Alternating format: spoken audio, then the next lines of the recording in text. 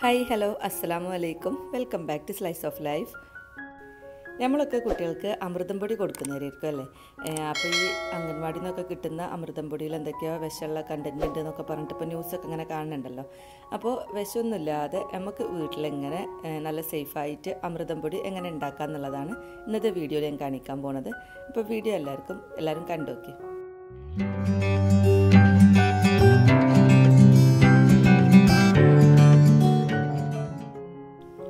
അമൃതം പൊടി ഉണ്ടാക്കാൻ കുറച്ച് ഇൻഗ്രീഡിയൻസ് ആവശ്യമുള്ളൂ കേട്ടോ പക്ഷേ ഓരോന്നും നമ്മൾ മെഷർ ചെയ്യുന്നത് കറക്റ്റ് ആയിരിക്കണം. ഞാനിപ്പോൾ ഈ ഒരു കപ്പിലാണ് കേട്ടോ മെഷർ ചെയ്യണത്. നമുക്ക് ഇഷ്ടമുള്ള കപ്പ് എടുക്കാം. ഏത് കപ്പിലാണെങ്കിലും ആ മെഷർ ചെയ്തെടുക്കുന്ന കപ്പിൽ രണ്ട് കപ്പ് ഗോതമ്പാണ് ആദ്യം എടുക്കുന്നത് അപ്പോൾ നമുക്ക് ആദ്യം ഒരു പാൻ ചൂടാക്കാൻ വേണ്ടിയിട്ട് വെക്കാം. നല്ല അടികട്ടിയുള്ളൊരു പാൻ എടുക്കുക കേട്ടോ എന്നിട്ട് അത് നല്ലോണം ചൂടാവുമ്പോൾ അതിൽക്ക് രണ്ട് കപ്പ് ഗോതമ്പ് ഇട്ട് കൊടുക്കുക. നമ്മൾ സാധാ ഗോതമ്പില്ലേ? ഇപ്പോൾ കുത്തിയ ഗോതമ്പ് അല്ലെങ്കിൽ നുറുക്ക് ഗോതമ്പായാലും കുഴപ്പമില്ല കേട്ടോ. ഇനി അതൊന്ന് നല്ലോണം ചൂടാവണം. ചൂടാണ് ചൂടാവണത് വരെ ഇങ്ങനെ ഇളക്കിക്കൊണ്ടിരിക്കുക. അപ്പോൾ ആ ഒരു സമയത്ത് തന്നെ അടുത്ത ഇൻഗ്രീഡിയന്റ് നമുക്കിവിടെ അളന്ന് വെക്കാം ഇനി എടുക്കുന്ന സംഗതികളൊക്കെ ഈ ഒരു കപ്പിൽ ഓരോ കപ്പ് വീതമാണ് കേട്ടോ എടുക്കുന്നത്. ഗോതമ്പ് മാത്രം രണ്ട് കപ്പ് പിന്നെ ഒരു കപ്പ് നിലക്കടല വറുക്കാത്ത നിലക്കടല ഉണ്ടല്ലോ അതാണ് എടുത്തിട്ടുള്ളത്. നമുക്ക് വേണമെങ്കിൽ ഓരോ ഇൻഗ്രീഡിയൻസും സെപ്പറേറ്റ് വറുക്കുക പക്ഷേ നമ്മളിപ്പോൾ എളുപ്പത്തിന് എല്ലാം കൂടി ഒരുമിച്ചാണ് കേട്ടോ വറുക്കുന്നത് ഒരുമിച്ച് വറുക്കുക എന്ന് പറയുമ്പോൾ ഓരോന്നിന്റെയും വേവ് വ്യത്യസ്തമാണ്. അപ്പോൾ അതുകൊണ്ട് എല്ലാം കൂടി ഒരുമിച്ച് ഒറ്റ ട്രിപ്പിൽ നമുക്ക് വർക്കാൻ പറ്റില്ല അപ്പോൾ ഞാൻ കാണിച്ചു തരാം എങ്ങനെയാണെന്നുള്ളത് അപ്പോൾ ഗോതമ്പ് നമ്മളിങ്ങനെ ഇടയ്ക്കിടയ്ക്ക് ഇളക്കി കൊടുക്കണം കേട്ടോ. അത് വിചാരിച്ചിട്ട് അത് സെപ്പറേറ്റ് അത് ഫുള്ളായിട്ടും വറുത്ത് വരുന്നത് വരെ കുക്കായി വരുന്നത് വരെ നമ്മൾ വറുത്ത് വറക്കേണ്ട ആവശ്യമില്ല. നമ്മളിങ്ങനെ ഇടയ്ക്ക് തൊട്ട് വെക്കുക. അപ്പം കൈ പിടിക്കുമ്പോൾ നല്ല ചൂടുണ്ടാവും. ആ നല്ല ചൂടായ ആ ഒരു സ്റ്റേജിൽ നമുക്ക് അടുത്ത ഇൻഗ്രീഡിയന്റ് ചേർത്ത് കൊടുക്കുക അതായത് കടല ഒരു കപ്പ് ഇനി ഇതും ചേർത്തിട്ട് നന്നായിട്ട് ഇങ്ങനെ ഇളക്കിക്കൊണ്ടിരിക്കണം. നല്ല ഫ്ലെയിമിൽ തന്നെയാണ് കേട്ടോ വെച്ചിട്ടുള്ളത്. ഇതും ചേർത്തിട്ട് നമുക്ക് നന്നായിട്ട് ഇളക്കിക്കൊണ്ടിരിക്കുക. എന്നിട്ട് ആ കടലിൽ നല്ലോണം ഒന്ന് ചൂടാണത് വരെ നമ്മളിത് ഇങ്ങനെ ഇളക്കിക്കൊണ്ടിരിക്കണം. കപ്പാണോ പാത്രമാണോ അതൊന്നൊരു വിഷയമല്ല കേട്ടോ ഏത് കപ്പിൽ നമുക്ക് എങ്ങനെ വേണമെങ്കിലും മെഷർ ചെയ്തിട്ട് എടുക്കാം പക്ഷേ എടുക്കുന്ന കപ്പിന്റെ ഒരു രണ്ട് കപ്പ് കടല പിന്നെ രണ്ട് കപ്പ് ഗോതമ്പ് ബാക്കിയുള്ളതൊക്കെ ഓരോ കപ്പ് വീതം. ഇതിപ്പോൾ അടുത്തായിട്ട് എടുത്ത് വെച്ചിട്ടുള്ളത് സോയാബീനാണ്. മുഴുവനായിട്ടുള്ള സോയാബീൻ ഇങ്ങനെ നമുക്ക് ഷോപ്പിൽ വാങ്ങാൻ കിട്ടും. ഇതില്ല അല്ലെങ്കിൽ സോയ ചങ്ക്സ് ഉണ്ടല്ലോ അതെടുത്താലും മതി. അപ്പോൾ ഒരു കപ്പ് എടുത്ത് റെഡിയാക്കി വെക്കുക. ഈ കടല നല്ലോണം ചൂടായതിന് ശേഷമാണ് നമ്മൾ സോയാബീൻ ചേർക്കുള്ളൂ. അപ്പോൾ ഇളക്കി കൊടുക്കാൻ മറക്കരുത്. നല്ലോണം ഇളക്കിക്കൊണ്ടിരിക്കുക. എന്നിട്ട് കടല നമ്മളിങ്ങനെ എടുത്ത് വെക്കുമ്പോൾ കടല നന്നായിട്ട് ചൂടായിട്ടുണ്ടെന്നുണ്ടെങ്കിൽ അതായത് കടല വറുത്ത പോലെ ഒന്നും ആയിട്ടുണ്ടാവില്ല നല്ലോണം ചൂടായിട്ടുണ്ടെന്നുണ്ടെങ്കിൽ നമുക്ക് സോയാബീൻ ചേർത്ത് കൊടുക്കാം. ഇനി ഇതെല്ലാം കൂടി ചേർത്തിട്ട് വീണ്ടും നന്നായിട്ട് ഇളക്കുക. അപ്പോൾ നമ്മളിങ്ങനെ ഇങ്ങനെ ഓരോന്നും ഇങ്ങനെ ചേർത്ത് ചേർത്ത് ഇളക്കി വരുമ്പോൾ ഈ ഗോതമ്പിനാണ് ഏറ്റവും കൂടുതൽ വേവുള്ളത്. അപ്പോൾ ഏറ്റവും ലാസ്റ്റ് ആകുമ്പോഴത്തേന് ഗോതമ്പും കടലയും എല്ലാം എന്താ പറയുക കുക്കായിട്ട് വരും കേട്ടോ അപ്പം നമുക്ക് അടുത്ത ഇൻഗ്രീഡിയന്റ് എടുത്ത് വെക്കാം. അടുത്തായിട്ട് പരിപ്പാണ് വേണ്ടിയത്. അപ്പോൾ ഇതിൽ ഇതിൽക്ക് ഇത് കടലപ്പരിപ്പാണ് കേട്ടോ. കുറച്ച് കട്ടില ടൈപ്പ് പരിപ്പില്ലേ വടയൊക്കെ ഉണ്ടാക്കുന്നത് അപ്പോൾ അത് ഈ കപ്പിന്റെ അരക്കപ്പിൽ അരക്കപ്പിൽ കടലപ്പരിപ്പും അരക്കപ്പ് തുവരപ്പരിപ്പ്. നമ്മൾ സാമ്പാറൊക്കെ ഉണ്ടാക്കുന്ന പരിപ്പ്. ഓറഞ്ച് ആയാലും കുഴപ്പമില്ല മഞ്ഞ ആയാലും കുഴപ്പമില്ല. അരക്കപ്പ് അതും. അപ്പോൾ അത് രണ്ടും കൂടിയാണ് ഒരു കപ്പ്. അപ്പോൾ ഇതുവരെ നമ്മളെല്ലാം ഓരോ കപ്പ് എടുത്തു. ഇനി പരിപ്പ് രണ്ടും കൂടി ഒരു കപ്പ് ഇനി ഇല്ലാന്നുണ്ടെങ്കിൽ ഉള്ള പരിപ്പ് ഏതാണോ അത് ഒരു കപ്പ് എടുത്താൽ മതി കേട്ടോ ഇനിയിപ്പോൾ ഇതാ ഇത് നല്ലോണം ഒന്ന് ചൂടായി വരണം. അടിയൊക്കെ നല്ലോണം അടിയോട് കൂടിയിട്ട് ഇളക്കണം കേട്ടോ അപ്പോൾ ഇങ്ങനെ ഇളക്കിക്കൊണ്ടിരിക്കുമ്പോൾ തന്നെ നമുക്ക് കാണാൻ പറ്റും. കടലേക്ക് ഇങ്ങനെ തൊലിയൊക്കെ ഇങ്ങനെ കുക്കായിട്ടുണ്ടാവും അപ്പോൾ നമ്മളിങ്ങനെ കൈ കൊണ്ട് ഇങ്ങനെ ആക്കുമ്പോൾ തന്നെ തൊലിക്ക് ഇങ്ങനെ പോരാൻ തുടങ്ങിയിട്ടുണ്ടാവും. നമുക്ക് വേണമെങ്കിൽ കടല സെപ്പറേറ്റ് വറുത്തിട്ട് തൊലി കളഞ്ഞിട്ട് ചേർക്കുക ചെയ്യാം കേട്ടോ പക്ഷേ തൊലി ഉണ്ട് വിചാരിച്ചിട്ട് വലിയ കുഴപ്പമൊന്നുമില്ല. ഇനി നമുക്ക് ഇതിലേക്ക് പരിപ്പ് ചേർത്ത് കൊടുക്കാം ഇപ്പോൾ എല്ലാ ഇൻഗ്രീഡിയൻസും ആയി. ഇനി കൂടുതൽ ഒന്നും ചേർക്കാനില്ല. അപ്പം നമ്മൾ നല്ലോണം ഇതൊന്ന് ഇളക്കി കൊടുക്കണം. ഈ കട പരിപ്പും കൂടിയും ചേർത്ത് കഴിഞ്ഞ് കഴിഞ്ഞാൽ പിന്നെ ഒരു അഞ്ചാറ് മിനിറ്റ് എല്ലാം കൂടി നമുക്കൊരു മീഡിയം ഫ്ലെയിമിൽ ഇട്ടിട്ട് നന്നായിട്ട് വറുത്തെടുക്കാം. അപ്പം ഞാൻ എനിക്കിപ്പോൾ പാത്രം ആ പാത്രം ചെറുതായിരുന്നല്ലോ. അപ്പോൾ അതുകൊണ്ട് ഞാൻ കുറച്ച് വലിയ പാത്രത്തേക്ക് മാറ്റിയിട്ടുണ്ട്.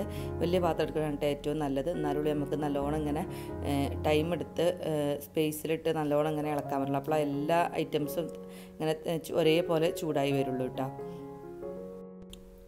നമുക്ക് വേണമെങ്കിൽ ഇതിൽക്ക് കുറച്ച് എന്താ പറയുക പിസ്ത ബദാം കാഷ്നട്ട് ഇതൊക്കെ വേണമെങ്കിൽ ചേർത്ത് കൊടുക്കാം. പക്ഷേ നമ്മൾ നമുക്ക് അംഗൻവാടിയിൽ നിന്നൊക്കെ കിട്ടുന്ന അമൃതം പൊടിയിൽ അതൊന്നും ഉണ്ടാവില്ല. ഈ ഇൻഗ്രീഡിയൻസ് തന്നെ ഉണ്ടാവുള്ളൂ കേട്ടോ ഇത്ര തന്നെ ഉണ്ടാവുള്ളൂ. ഇതന്നെ ഇത് തന്നെ പൊടിച്ചെടുത്ത് കഴിഞ്ഞ് കഴിഞ്ഞാൽ നമുക്ക് ആ ഒരു സ്മെല്ലും ടേസ്റ്റും ഒക്കെ കിട്ടും കേട്ടോ അപ്പോൾ ഞാനിപ്പോൾ ഇത്ര തന്നെ ആക്കണുള്ളൂ. പിന്നെ അതുപോലെ തന്നെ നമ്മളൊരു എട്ട് മാസം മുതലുള്ള കുട്ടികൾക്കായിരിക്കുമല്ലോ ഇത് കൊടു കൊടുക്കുന്നത്. അപ്പോൾ എട്ട് മാസം മുതലുള്ള കുട്ടികൾക്ക് ഇത് കൊടുക്കുമ്പോൾ നമ്മളിത് കഴിപ്പിച്ച് നോക്കിയിട്ട് ഒരു മൂന്ന് ദിവസം തന്നെ കൊടുത്തു വെക്കുക മൂന്ന് ദിവസം കൊടുത്തു നോക്കിയിട്ട് അവർക്ക് അലർജിയും പ്രശ്നങ്ങളൊന്നും ഇല്ല എന്നുള്ളത് ഉറപ്പാക്കണം കേട്ടോ. എന്നിട്ട് നമ്മൾ ബാക്കി നട്ട്സൊക്കെ ചേർത്താൽ മതി. നമ്മൾ കാഷ്നട്ടും ബദാമൊക്കെ ചേർക്കാൻ കരുതിക്കണമെങ്കിൽ തന്നെ കേട്ടോ. കാരണം പത്ത് മാസം വരെ കുട്ടികൾക്ക് നട്ട്സ് അലർജി ഉണ്ടാവാം എന്നാണ് പറയുന്നത്. പത്ത് മാസം കഴിഞ്ഞ കുട്ടികൾക്ക് നട്ട്സ് അലർജി കുറവായിരിക്കും. അപ്പോൾ അതാ ഒരു അഞ്ചാറ് മിനിറ്റ് ഞാനിത് വറുത്തെടുത്തിട്ട് ഒരു പാത്രത്തേക്ക് മാറ്റി തണുക്കാൻ വെച്ചിട്ടുണ്ട്. തണുക്കാൻ മീൻസ് ചൂടാറാൻ വെച്ചാണ്. ഇത് ചൂടാറിയതിന് ശേഷം നമുക്കിത് നല്ല ഫൈനായിട്ട് മിക്സിയിലിട്ട് പൊടിച്ചെടുക്കാം.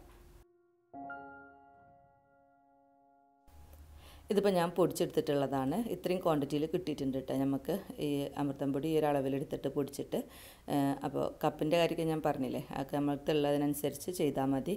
പക്ഷേ ഏത് കപ്പിലാണോ എടുക്കുന്നതെങ്കിൽ അതിൽ തന്നെ എടുക്കണം. ബാക്കി എല്ലാ ഇൻഗ്രീഡിയൻസും എന്നുള്ളതാണ് കേട്ടോ അത് നല്ല ഫൈനായിട്ട് തന്നെ പൊടിച്ചിട്ടുണ്ട്. ഞാൻ തരിച്ചെടുത്തിട്ടുണ്ടായിരുന്നു കേട്ടോ തരിച്ചെടുത്തിട്ട് ആ തരി വീണ്ടും പൊടിച്ചെടുക്കുക. അങ്ങനെയാണ്. ഒന്നും കളഞ്ഞിട്ടൊന്നുമില്ല.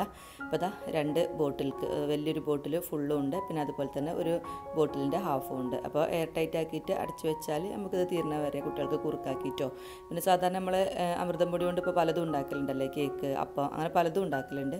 അങ്ങനെ എന്ത് വേണമെങ്കിലും ഉണ്ടാക്കാം. ഞാൻ സിമ്പിളായിട്ട് നമ്മളിപ്പോൾ കുറുക്ക് ഉണ്ടാക്കുന്നതാണ് ഇപ്പോൾ കാണിക്കുന്നത് ചെറിയ കുട്ടികൾക്കൊക്കെ നമ്മൾ കുറുക്ക് തന്നെയായിരിക്കും അധികം ആക്കി കൊടുക്കൽ അപ്പോൾ ഈ കുറുക്ക് ഉണ്ടാക്കുന്ന സമയത്താണ് കേട്ടോ ഞാൻ ഇതിലേക്ക് മധുരം ചേർക്കുക. നമ്മൾക്ക് കിട്ടുന്ന പാക്കറ്റിൽ കിട്ടുന്ന പൗഡറിന് നല്ല മധുരം ഉണ്ടാവും അല്ലേ അപ്പോൾ ഞാൻ അതിൽ ഒരു കൽക്കണ്ടോ പഞ്ചസാര എന്തെങ്കിലുമൊക്കെ ചേർത്ത് പൊടിക്കുന്നുണ്ടാവും.